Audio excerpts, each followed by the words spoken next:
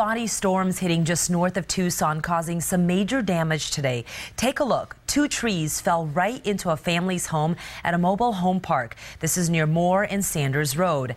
Nine News Side's Whitney Clark was there and has more on all of the damage. The Baden family had some unexpected guests show up to dinner tonight. The whole house just completely shook, just shook everywhere, and then we just went out and looked in the um, living room, and three big, huge branches just ran right inside the actual house. Yeah. Yeah. Two trees falling on the family's home in Marana. You can see the branches sticking through the ceiling. Only a few miles away on I 10. The wind knocking down trees into the median. At one point, TEP reported almost 100 people were without power from the storm.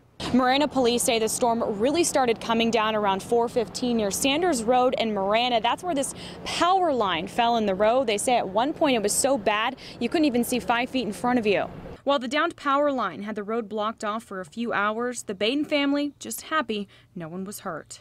Yeah, everybody's okay. Yep, we're all good. They're all good. They are all okay.